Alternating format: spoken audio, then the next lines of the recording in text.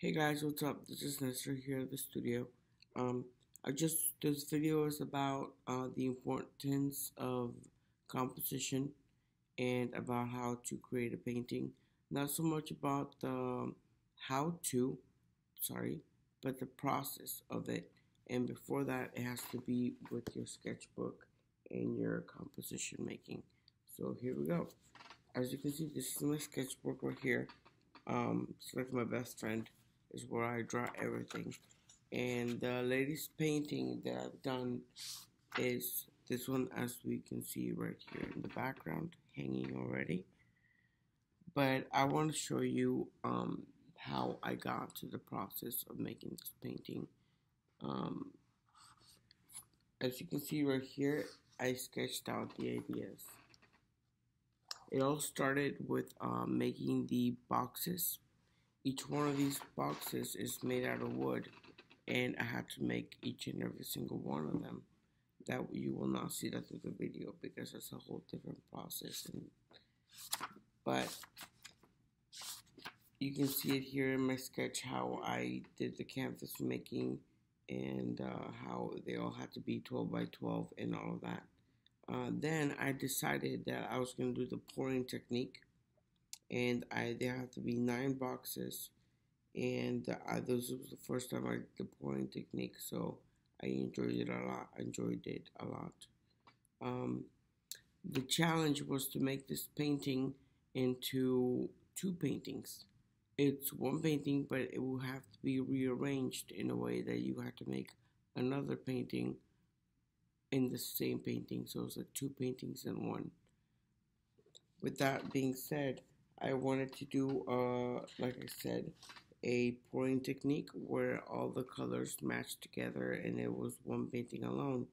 And then I wanted to add the map of and the roads and maps of the Dallas Fort Worth, like Coppell, Irving, Dallas, Arlington, Grand Prairie, Euless, which is like mostly where I drive and stuff like that. Um, most of the time, I always do self portraits, and I wanted to add these um, not so much like painted self portraits, but uh, 3D self portraits of myself, um, 3D prints. And I also, of course, wanted to add my logo, which um, you can see in my hat right here. See right here, it's upside down, it's in reverse but there's my logo right there. And um, here's the third uh, picture where it shows how it will look together, at least one of them when they're finished. So to get to that, I had to first make the boxes, which I did at this at this other studio, and uh, once they were done, I um, I was ready to start painting and I did the pouring technique over it. Again, it will not be shown how to here, but um, maybe a little bit of, here's a little bit of how I, it looks like and how I made it to look like it was one piece and cohesive to make sure that I did the first part of the painting and achieved that one painting that what it, it looked it all looked like it was one piece together um, after that, I did the other part where it was the roads and the maps. And you can see me here painting with white the roads and the maps on it. Um, once I was done painting it, I realized that uh, overall it was nine paintings in one. Um, nine paintings because each box was an abstract painting and then there was the other colorful painting and then the maps painting. But then I wanted it to be um, three uh, three I wanted to be games. I call this painting the game the game of life. So the first is a puzzle where you match.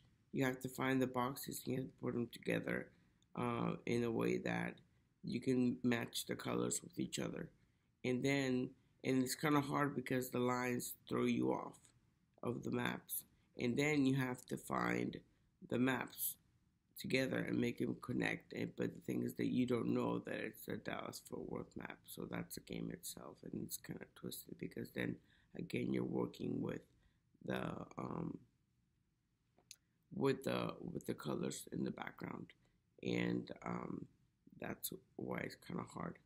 And after that, there's a third game where uh, because it's nine and it's split into um, into nine pieces, it, it's the game of tic tac toe.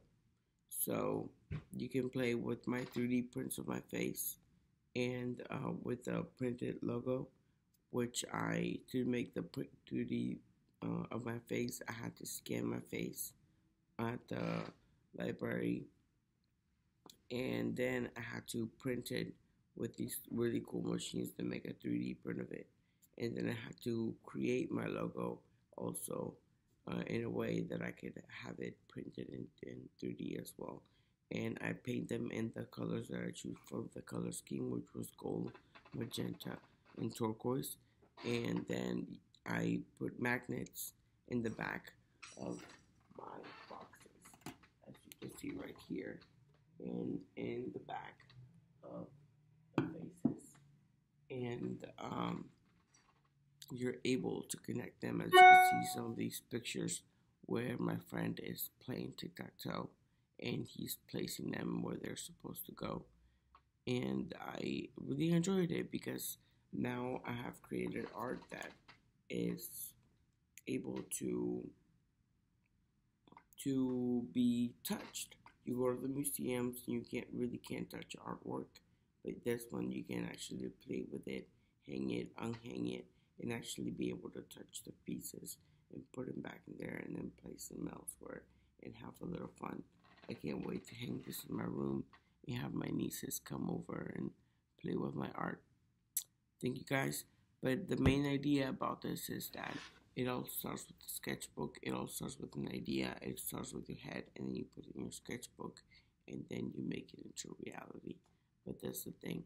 If you don't start, if you don't blueprint the buildings are never going to get built.